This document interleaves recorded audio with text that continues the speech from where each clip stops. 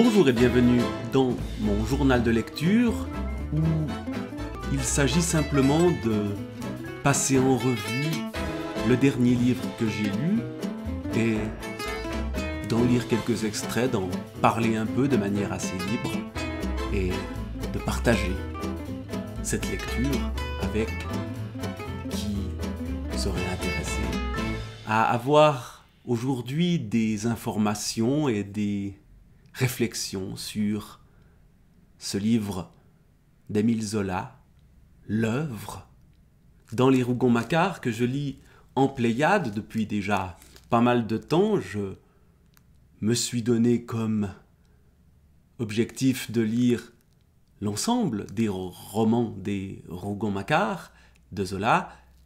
C'est le quatrième volume de la Pléiade ici, et l'œuvre donc. L'œuvre, c'est l'histoire de Claude Lantier, un membre évidemment de cette famille Rougon-Macquart. Claude Lantier, c'est le fils de Gervaise, de l'Assommoir, c'est le frère d'Étienne Lantier, le héros de Germinal. C'est le demi-frère de Nana, donc issu de milieux pauvres, ouvriers, mais qui va avoir la chance d'avoir une éducation de plus grande qualité que ses frères. Il y a aussi Jacques Lantier, hein, la bête humaine, qu'on retrouvera plus loin dans ce même volume de la Pléiade.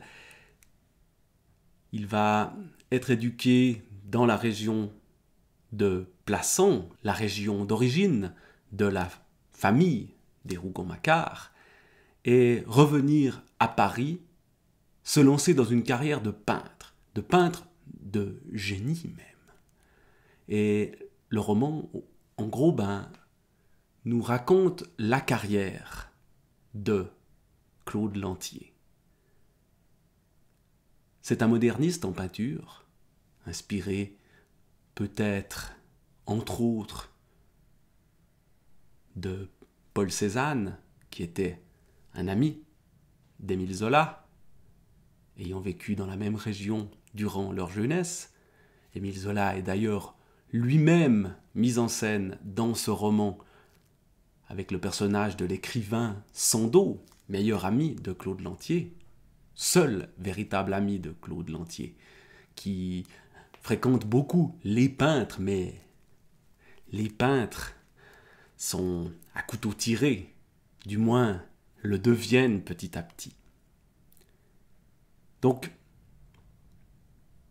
on a ce peintre moderniste, Cézanne, Manet peut-être aussi, Monet.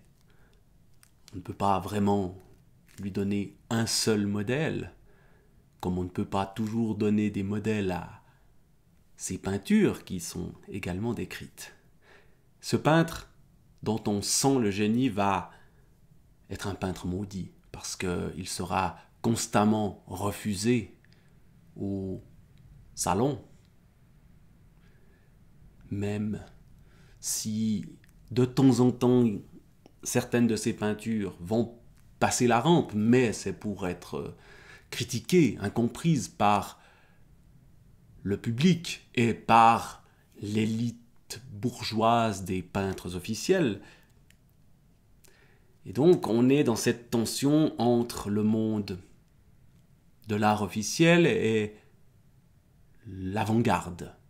Et Claude Lantier représente cette avant-garde, représente l'artiste en quête d'absolu.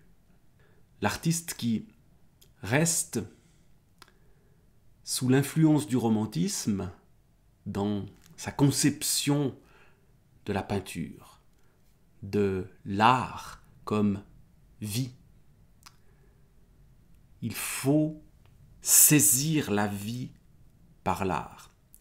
C'est évidemment aussi la démarche d'Émile Zola lui-même dans son naturalisme, mais un naturalisme chez Zola extrêmement lyrique. Alors dans la vie de Claude Lantier, plusieurs personnages vont jouer des rôles très importants. Mais celui qui jouera véritablement le plus grand rôle, alors celui qui jouera le plus grand rôle, c'est la peinture. Et c'est un vrai personnage de cette histoire-là. Mais celle qui jouera un rôle essentiel, c'est Christine. Dès le début, il rencontre cette jeune femme, une rencontre assez presque désagréable, ou en tout cas qui ne se passe pas très bien. Une nuit, il va l'héberger parce qu'elle est perdue, elle débarque à Paris et elle se retrouve chez lui, euh, il y a un orage, c'est la catastrophe, elle dort là, il la voit, il voit son corps. Et il le dessine pendant qu'elle dort. Puis, elle s'en va, mais elle revient, lui rend visite. Ils deviennent amis. Mais lui, il veut peindre une femme. Il n'y parvient pas avec les modèles habituels. Et cette femme avec qui il entretient une amitié va accepter de poser pour lui. Voilà le passage où cette acceptation va, va commencer. Au fond de lui, maintenant, une pensée unique montait. Obtenir d'elle qu'elle consentît à poser la figure entière. Cela, lentement, avait germé d'abord un simple souhait vite écarté comme absurde, puis une discussion muette sans cesse reprise, enfin le désir net, aigu, sous le fouet de la nécessité. Cette gorge qu'il avait entrevue quelques minutes le hantait comme un souvenir obsédant. Ce qui est intéressant, c'est que cette gorge entrevue, cette femme dont on pourrait se dire qu'il la désire, ce c'est pas tout à fait ça qui se passe. Ce qu'il désire, c'est la peindre. Et dès le départ de cette relation avec cette femme-là qui deviendra son épouse et qui sera le personnage féminin central du roman, leur relation, c'est un peintre et son modèle et au fond, tout est là. Tout est dans la rivalité entre la femme en tant que personne, qu'épouse future, qu'amante, et la femme en tant que modèle pour la peinture. Chez Claude, c'est toujours le modèle qui l'emporte, c'est toujours la peinture qui l'emporte. Et c'est le drame de cette histoire-là. Si je vais voir un peu plus loin, justement, dans le roman, il va s'acharner à peindre selon ce qu'il veut peindre, selon ce qu'il sent comme étant la vérité en peinture, mais ira d'échec en échec, ne sera jamais content. C'est peut-être la marque du génie ou du génie maudit, j'allais dire du génie raté, et de l'exaltation de celui qui sait qu'il pourrait atteindre quelque chose d'extraordinaire, mais toujours plus tard. Peu à peu, si la bravoure de son obstination paraissait grandir, il retombait pourtant à ses doutes d'autrefois, ravagé par la lutte qu'il soutenait contre la nature. Toute toile qui revenait lui semblait mauvaise, incomplète surtout, ne réalisant pas l'effort tenté. C'était cette impuissance qui l'exaspérait, plus encore que les refus du jury. Sans doute, il ne pardonnait pas à ce dernier. Ses œuvres, même embryonnaires, valaient cent fois les médiocrités reçues. Mais quelle souffrance dont il ne pouvait accoucher son génie. Il y avait toujours des morceaux superbes. Il était content de celui-ci, de celui-là, de cet autre. Alors pourquoi de brusques trous? Pourquoi des parties indignes, inaperçues pendant le travail, tuant le tableau ensuite d'une tare ineffaçable? Il se sentait incapable de correction. Un mur se dressait à un moment, un obstacle infranchissable, au-delà duquel il lui était défendu d'aller. S'il reprenait vingt fois le morceau, vingt fois il aggravait le mal. Tout se brouillait et glissait au gâchis. Il s'énervait, ne voyait plus, n'exécutait plus, en arrivant à une véritable paralysie de la volonté. Était-ce donc ses yeux, étaient-ce ses mains qui cessaient de lui appartenir dans le progrès des lésions anciennes qui l'avaient inquiété déjà? Les crises se multipliaient, il recommençait à vivre des semaines abominables, se dévorant, éternellement secoué de l'incertitude à l'espérance. Et l'unique soutien pendant ces heures mauvaises, passées à s'acharner sur l'œuvre rebelle, c'était le rêve consolateur de l'œuvre future, celle où il se satisferait enfin, où ses mains se déliraient pour la création par un phénomène constant, son besoin de créer allait ainsi plus vite que ses doigts. Il ne travaillait jamais à une toile sans concevoir la toile suivante.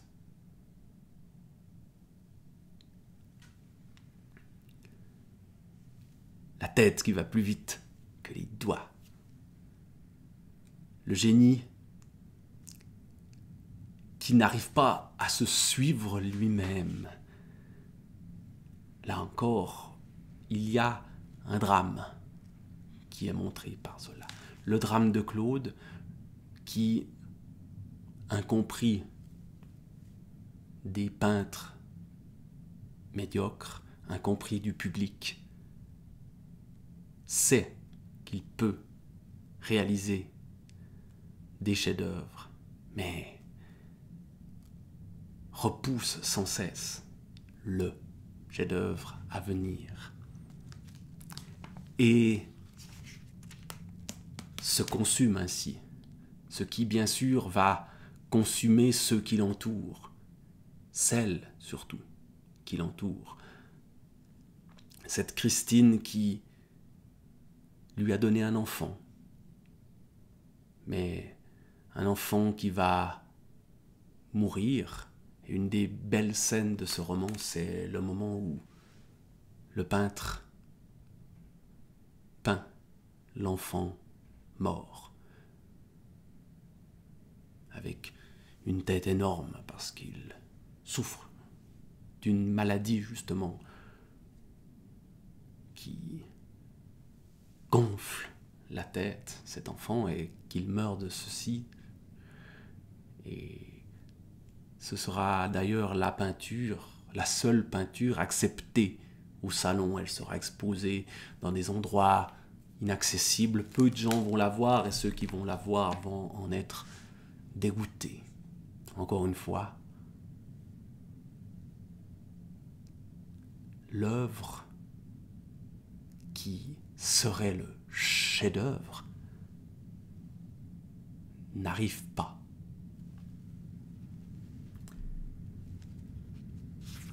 Et on a aussi dans ce roman des scènes de salon, c'est-à-dire le public qui assiste aux expositions, les peintres qui voient le public réagir à ce qu'ils ont fait, les sculpteurs aussi, on a des scènes d'ateliers aussi, ou des scènes de rencontres amicales, pas toujours si amical que ça d'ailleurs, entre les différents peintres, souvent chez l'écrivain Sandeau, chez Zola, qui lui-même avait beaucoup d'amis peintres et organisait ses jeudis. Et ces scènes où le solitaire, qu'est Claude, solitaire même pas capable de prendre avec lui celle qui est là, son épouse, ben, sera toujours exclu au fond de ces moments de partage et surtout ne comprendra rien aux réactions des gens face à sa peinture.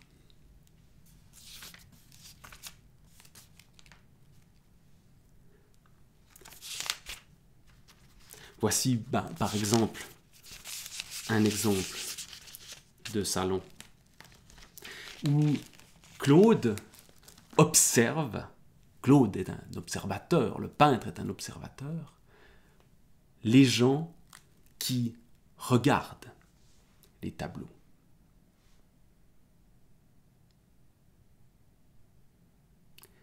Ces dos enflés, ces admirations montant en une marée d'échine, finissaient par exaspérer Claude.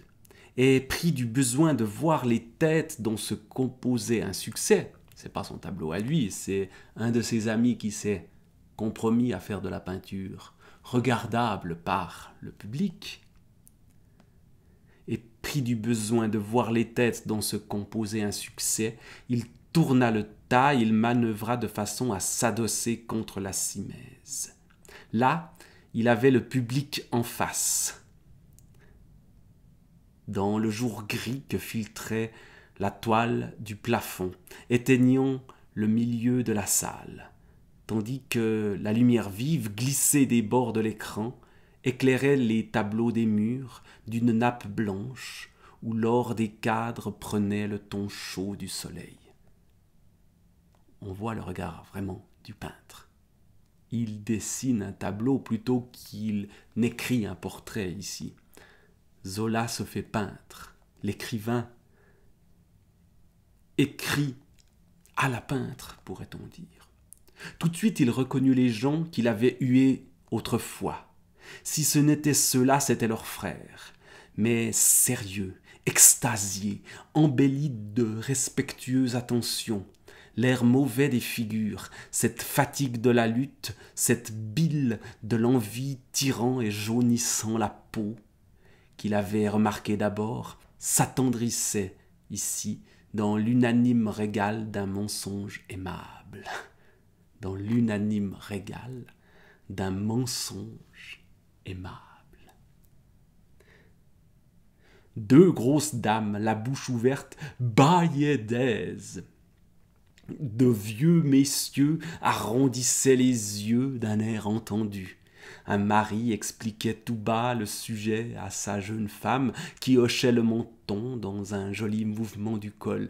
Il y avait des émerveillements béats, étonnés, profonds, gais, austères, des sourires inconscients, des airs mourants de tête. Les chapeaux noirs se renversaient à demi, les fleurs des femmes coulaient sur leur nuque, et tous ces visages s'immobilisaient une minute étaient poussés, remplacés par d'autres qui leur ressemblaient continuellement. Les scènes de foule sont toujours très bien faites chez, chez Zola, très bien peintes.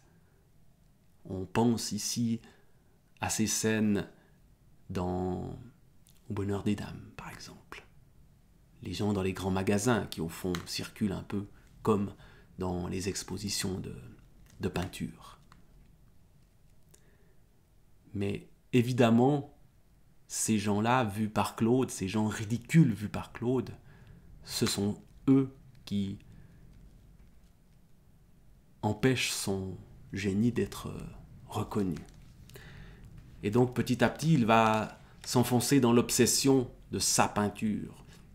Il s'engage dans une immense peinture d'une scène de la Seine, justement, donc le fleuve de Paris, où il se rend sur place de manière obsessionnelle. Il dessine tout ce qui est autour d'un pont sur la Seine, des gens qui travaillent autour de ce pont, le décor, etc. Avec une deuxième obsession qui vient se rajouter au lieu, c'est une femme sur une barque sur la Seine, et cette femme, est-ce que c'est Christine? C'est le corps de Christine transformé au point que l'épouse va être dédaignée par Claude pour son avatar, pour sa peinture, et qu'une jalousie va naître chez le personnage de Christine, qui se trouve abandonné pour son propre reflet. Et tout ça, bien sûr, ne peut que mal se terminer. Et pour terminer ici, je vais lire non pas la toute fin, mais quelques pages avant.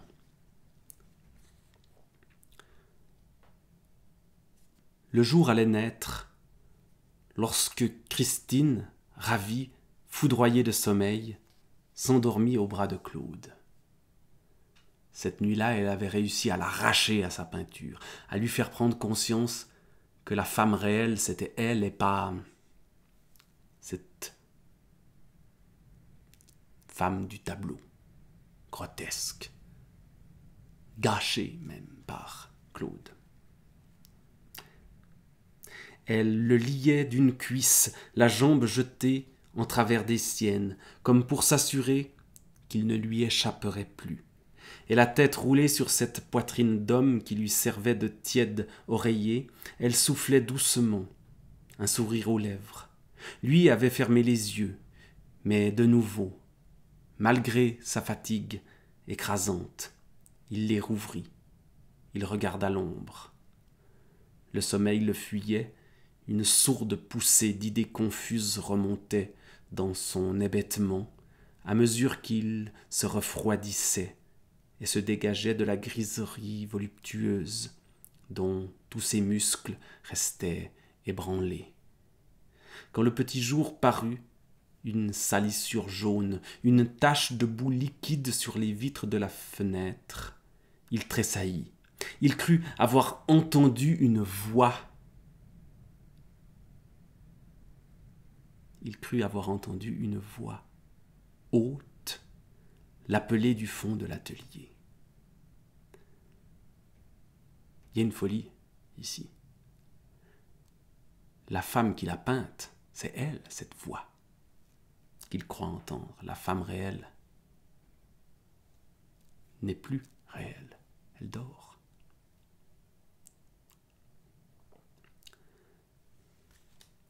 Ses pensées étaient revenues toutes, débordantes, torturantes, creusant son visage, contractant ses mâchoires dans un dégoût humain, deux plis amers qui faisaient de son masque la face ravagée d'un vieillard. Maintenant, cette cuisse de femme allongée sur lui prenait une lourdeur de plomb. Il en souffrait comme d'un supplice, d'une meule dont on lui broyait les genoux pour des fautes inexpiées et la tête également posée sur ses côtes l'étouffait, arrêtait d'un poids énorme les battements de son cœur. Mais longtemps il ne voulut pas la déranger, malgré l'exaspération lente de tout son corps, une sorte de répugnance et de haine irrésistible qui le soulevait de révolte. L'odeur du chignon dénoué, cette odeur forte de chevelure, surtout, l'irritait. Brusquement, la voix haute, au fond de l'atelier, l'appela une seconde fois, impérieuse. Et il se décida. C'était fini. Il souffrait trop. Il ne pouvait plus vivre puisque tout mentait et qu'il n'y avait rien de bon.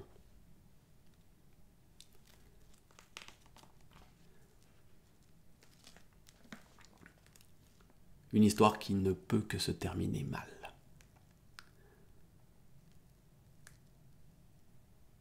Voilà donc quelques extraits de l'œuvre de Zola, quelques réflexions sur ce livre qui montre, je crois, avec justesse, une vision de l'art comme transcendant la vie, mais n'y parvenant pas. Une vision du génie, mais d'un génie qui ne parvient pas jusqu'au bout de lui-même, d'un génie tragique. Ce qui ne correspond pas tout à fait à Émile Zola lui-même d'ailleurs. Était-il un génie? Laissons la question ouverte, mais lui est allé au bout de son œuvre.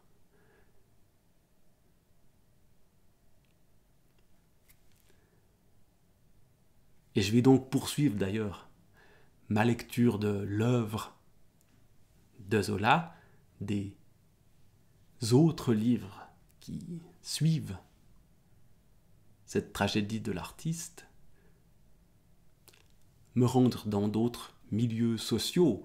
Le prochain, c'est la terre, donc le monde paysan, un monde qui, personnellement, m'intéresse énormément parce que c'est le monde d'où je viens. Mais on va clore ici ces réflexions sur Zola, mais il sera bientôt à nouveau question d'Émile Zola dans ce journal de lecture et il sera question de plein d'autres livres, puisque la lecture